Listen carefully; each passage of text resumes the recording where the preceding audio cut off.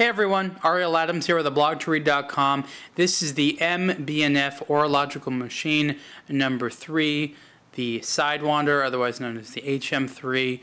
Um, this is the last major release from MB&F. The newest one is HM4, but this is still an amazing timepiece and one of the most um, original um, and I think iconic designs. This really put them on the map from a design standpoint that showed that they were able to create some very fascinating stuff.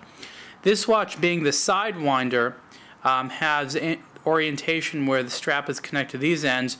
There's a different version called the Star Cruiser where the strap is connected here and here. So it just depends how you want to wear it. So you wear the watch um, like this on your wrist and then you tell the time via these two sort of um, I'll call them towers. So this tower here is for the hours, this tower here is for the minutes. And what you do is you look here at this little red indicator and it moves across the hours.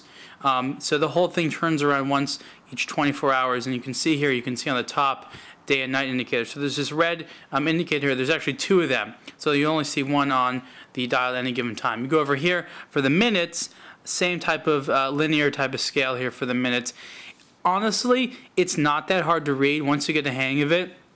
It's not so bad, and this orientation makes it so that when you sort of tip your wrist to the side there, you can see them. There's a date indicator on this disc over here, and there's a small arrow right here, so you're pointing at the 19th. Today's the 19th. Otherwise, um, it's the beauty of the of the movement. So it's an automatic. You can see that battle axe style rotor in solid 18 karat gold, which is moving around there. And I believe it's on ceramic ball bearings because it moves really smoothly. And it's just great seeing that movement. It's just spinning all the time. It's it's fantastic. MB&F designs beautiful movements, and this is no exception. The sapphire crystal over this section of the movement is incredibly clear. There's a wonderful amount of anti-reflective coating. It looks like you can just stick your finger through there and touch the movement. Finishing is fantastic. It's really beautiful. You can see two more gears on the back here which just look amazing. The case is about, it's 47 by 50. The top half of it, this version is in 18 karat white gold and the bottom is in titanium. There's also a version um, where the top is in uh, gold that matches the rotor, so it's in rose gold. The strap is, um, I think it's alligator, uh, maybe crocodile. I always get those two mixed up. I don't know why. Um, there's this sort of uh, tension type of clasp here. It has sort of a little, uh, it's kind of like spring loaded, I guess you could say, and it works really well. It makes it easy. There's a lot of luxury makers that, that have that type of style strap. So there it is on the wrist. It's not too crazy. Um, it's actually pretty manageable and dare I say comfortable. Um, it's a crazy design which is not fit for everyone, of course. If you can pull something like this off, you know it. You just look at it and you're like, yeah, I can pull that off. Um, I like it. I think it's interesting.